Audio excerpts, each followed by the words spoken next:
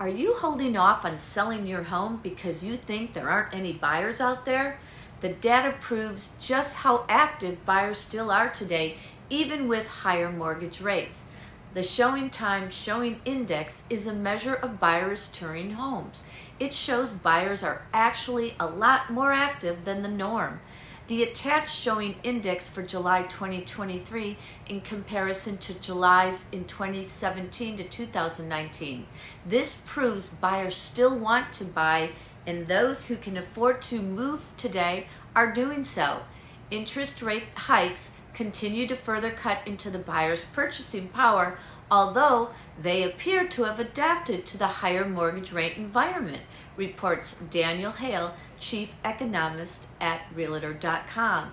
Don't delay your plan to sell for this fear that no one is buying. The opposite is true, and buyer traffic is still strong today. Connect with me, Vicki Harvey, at Vicki Sells Grand Strand at eXp Realty to get your home in front of these buyers.